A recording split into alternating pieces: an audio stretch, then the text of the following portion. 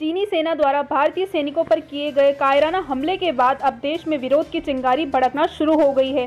जहाँ नगर में दो जगह चाइना का भारी विरोध किया गया, जहाँ एक जगह चाइना के सामान की होली जलाई तो एक जगह चाइना के झंडे और चाइना के राष्ट्रपति के फ़ोटो को आग के हवाले कर दिया गया और जमकर नारेबाजी करते हुए चाइनीज़ सामान का विरोध किया।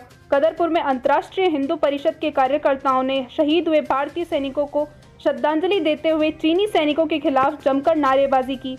बता दें कि मंगलवार को चीनी सैनिकों द्वारा भारतीय सेना पर पथराव किया गया था, जिसमें भारतीय सेना के 20 जवान शहीद हो गए थे, जिससे देश में आक्रोश की लहर देखने को मिल रही है। जिसके चलते आज गदरपुर में अंतर्राष्ट्रीय हिंदू परिषद के कार्यकर्ताओं ने भारतीय सैनिकों के शहीद होने पर उनको श्रद्धांजलि अर्पित करते हुए चीन के खिलाफ जमकर नारेबाजी की और सरकार से मांग की कि चीन को कड़ा सबक सिखाया जाए। अंतर्राष्ट्रीय हिंदू परिषद के प्रदेश अध्यक्ष ने भी एक जुलूस के शक्ल में हाथों में तिरंगा और चाइना के विरोध का स्लोगन लिखी तख्ती को लेकर मेन बाज़ार में चाइना के विरुद्ध जमकर नारेबाजी करते हुए चाइनीज़ सामान की होली जलाई है। इन्होंने कहा है कि चाइना ने धोखे से हमला किया है और मोदी जी से इनको सबक सिखाने की भारी अपील की। देखिए, गलवान घाटी और पैंगो घाटी, जो कि लद्दाख क्षेत्र में है, वहाँ पर पिछले एक महीना दस दिन से भारत और चाइना के बीच में तनाव चल रहा है। कई राउंड की बातचीत हो भी चुकी थी दोनों पक्षों में। लेकिन अचानक सोमवार की शाम को चाइनीज़ सेना के द्वारा भारतीय जवान जो कि जाम्बा जवान है पूरे दुनिया में जाने जाते हैं, उन पर पीठ पीछे हमला किया और हमारे 20 जवान शहीद हो गए। बहुत दुख हुआ, पूरा देश दुखी और आक्रोशित है।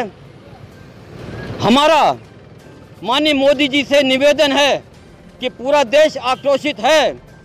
माननीय मोदी जी ऐसा जवाब दीजिए चीन को कि आने वाले सौ साल में भी चीन अपने घुटने पर भी खड़ा ना हो पाए। ऐसा जवाब दीजिए, यही इन 20 जवानों के प्रति सच्ची श्रद्धांजलि होगी।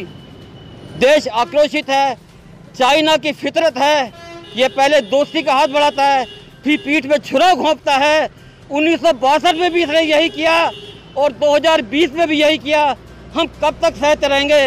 कब तक अपने जामबाज जवानों को हम खोते रहेंगे? चाइना के सामान का विरोध तो हम तो पिछले दो साल से कर रहे हैं। हमारे पूरे भारत में रहने वाले व्यक्ति, ये उससे अपील है कि चाइना का आर्थिक बहिष्कार करिए। 100 बिलियन से ज़्यादा डॉलर का सामान भारत में आता है। अगर इस पर आर्थिक प्रतिबंध लग गया जनता के द्वारा, सरकार के लिए तो मुश्किल होता है। तो चाइना फिर दोबारा अपने घुटनों पर रेंगता हुआ नज़र आएगा।